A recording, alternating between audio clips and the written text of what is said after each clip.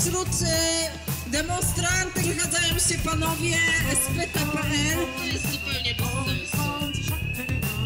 E, Rozmawiać z nimi. Dzisiaj w parlamencie pytanie, czy powrót takich tuzów ekonomii jak Ryszard Petru czy Leszek Balcerowicz, tak jak zapowiadała to chociażby pani posłanka Leszczyna z Platformy Obywatelskiej, czy ich powrót wyciągnie Polskę z gospodarczego dołka.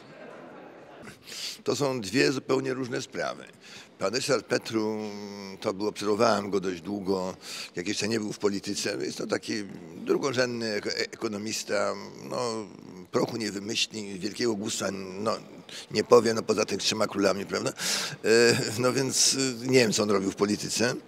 Natomiast pan Leszek Balcerowicz to zupełnie inna kategoria. To jest człowiek, który dał się oszukać. Przypominam, że ten plan Balcerowicza, naprawdę Zaksa, to był projekt budowy w Polsce socjaldemokracji, a nie, a nie Boże, kapitalizmu, a nie liberalizmu. No potem już jako dyrektor banku działał lepiej. Teraz już mówi zupełnie dobrze, natomiast jak działa, to nie wiemy, bo trudno powiedzieć. Ale to jest osobnik zupełnie innego, innego kalibru niż pan Petru. Mogłoby to oznaczać, że Platforma Obywatelska zejdzie ze ślizgu lewicowego i wróci do korzeni, czyli do, do, do wolności gospodarczej. Zobaczymy, bo to nie jest tak prosto. Wejście jednego człowieka, yy, tym, tym bardziej, że przypominam, pan Tusk oświadczył parę lat temu, że już nie jest liberałem, tylko socjaldemokratą. W związku z czym no, mało wiarygodne jest yy, tego typu zmiana w Platformie Obywatelskiej. Także patrzymy na to z zainteresowaniem, ale bez większych nadziei. Czy w ogóle taka wiara w to, że jedna osoba właśnie może, w, może cośkolwiek zmienić, czy to, czy to nie jest trochę... mm, Czy oni w to wierzą w ogóle po swojej platformy? Czy to nie jest takie trochę zaklinanie rzeczywistości? Prawica wierzy, że to jednostki zmieniają świat, a nie masy, w odróżnieniu od lewicy, która wierzy w masy.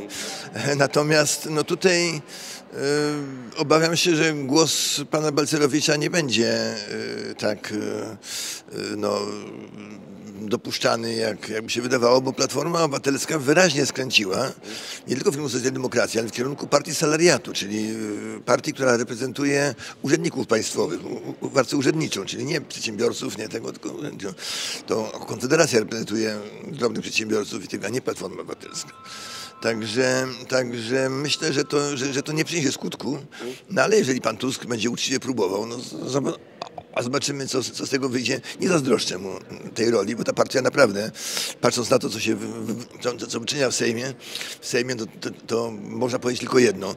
PiS y, naprawdę do, dostał najlepszą opozycję, jaką sobie, znaczy z lewej strony, jaką mógł sobie wymarzyć. No, to, co wyczynia Lewica i Platforma Obywatelska, to po prostu śmiech na sali. W Ameryce by się po prostu zmieścili wyłącznie na, w cyrku, a nie w, w, w parlamencie. Dzisiaj Polska potrzebuje zupełnie innej polityki finansowej i gospodarczej.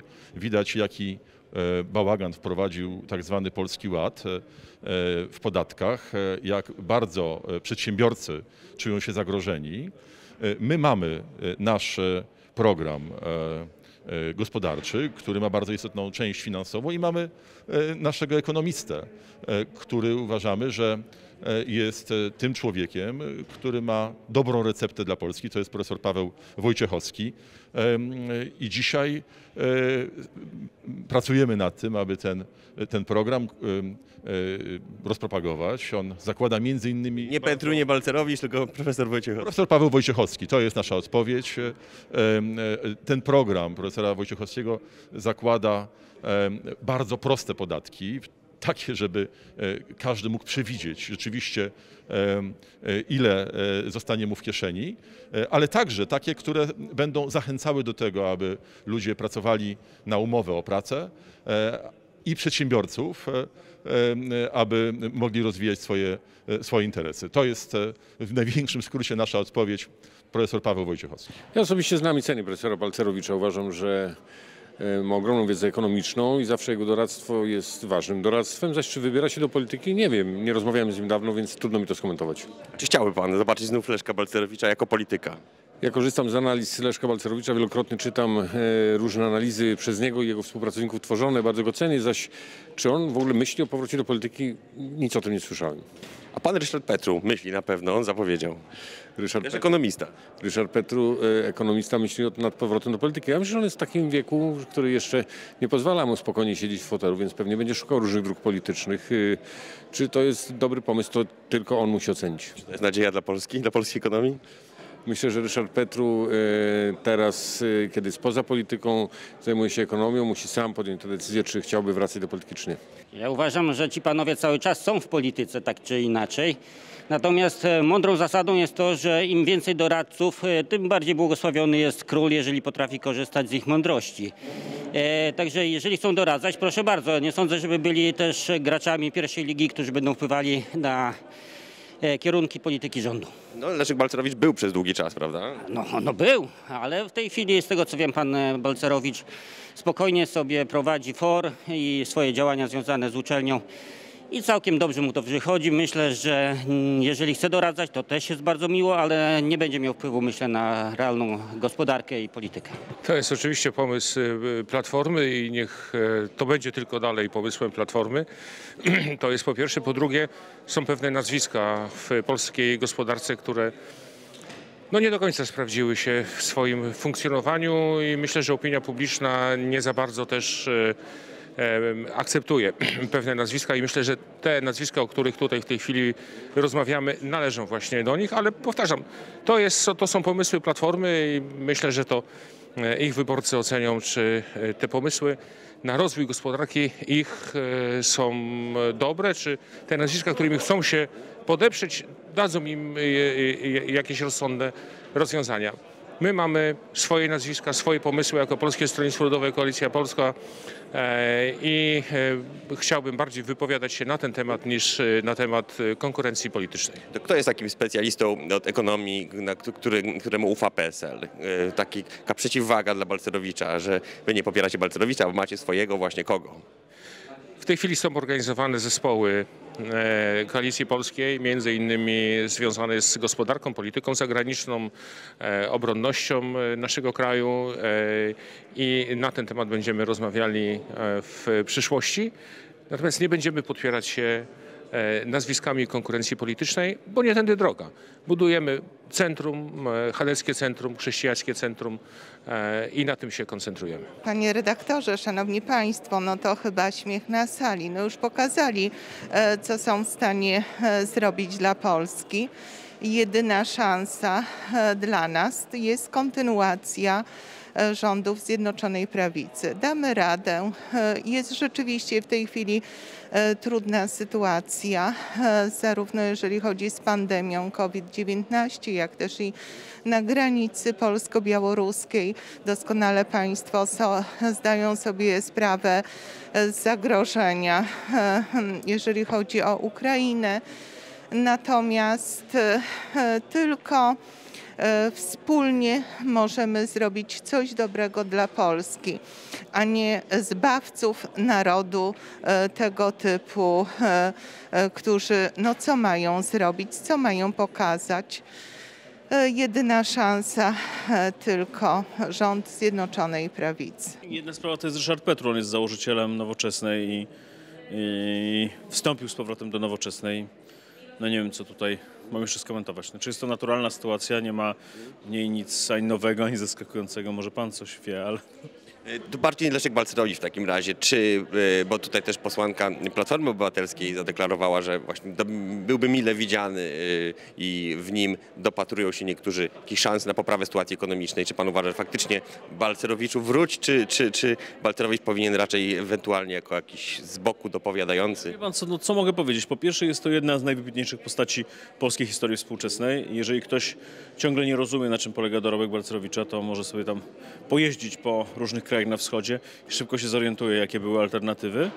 Drugie, jest praktykującym profesorem, akademikiem, a trzecie, czy chce wracać, czy nie chce wracać, jego pytajcie, nie chcę tutaj za niego nic mówić. Nie znamy żadnego jego stanowiska w tej sprawie. Czasami rozmawiamy, to są dobre rozmowy i, i bardzo sensowne i, i myślę, że ma dużo ciekawych spostrzeżeń na temat współczesnej sytuacji w Polsce, nie tylko pod kątem ekonomicznym, ale czy chce wracać, czy nie chce wracać, No, jakbym coś miał powiedzieć na ten temat, to nie mówiłbym do kamery nie wiedząc o tym. Ja nie mam zielonego pojęcia o tym. A czy pan by chciał powrotu Balcerowicza do bieżącej polityki? Ale pan chce, żebym panu odpowiedział na, na pytanie w jakikolwiek sposób, a ja panu nie odpowiem. Szanuję Walcerowicza, mam z nim kontakt, nie będę za niego mówił w żaden sposób. Trzeba jego zapytać i on na pewno powie. Ja mogę tylko powiedzieć, szanuję jego dorobek. E, Podoba mi się to, że wciąż uczy studentów, że jest aktywny w życiu publicznym i to jest dobre. A czy nie wiem, chce startować w wyborach, czy chce jakąś rolę odgrywać, e, ja nie jestem osobą do tego, żeby to komentować. To nie byłoby zręczne. Polacy mówią, że lubią te piosenki, które już znają. Chyba z tego wniosku wychodzą właśnie politycy, e, zatrudniając e, takie powroty, e, jak choćby właśnie pan Petru. Może nie będzie lepiej w polityce, ale będzie na pewno śmieszniej znowu, bo brakowało chyba trochę tych memów z panem Petru. Natomiast nie wydaje mi się, żeby to zmieniło cokolwiek w obliczu polityki. Właściwie tak naprawdę, jeśli jeszcze tylko Pawlak wróci na w stery e, w PSL-u, a Miller w e, SLD, e, to właściwie tak naprawdę będziemy powrót do początku wieku i właściwie tak naprawdę na nowo całe koło polityczne się znowu rozpocznie. A gdyby Leszek Balcerowicz wyraził taką chęć, wrócił do polityki, czy widzicie w nim jako Konfederacja autorytet ekonomiczny? To jest osoba na pewno skompromitowana, jeśli chodzi o politykę. E, I zresztą nawet na ostatnich e, z, w swoim gronie w sumie Platformy Obywatelskiej e, w wydarzeniu, które organizował Trzaskowski, został wybuczany przez uczestników tego wydarzenia, więc wydaje mi się, że tak naprawdę no, powinniśmy patrzeć w przyszłość, a nie w przeszłość i takie postacie jak pan Balcerowicz raczej mają miejsce na emeryturze politycznej.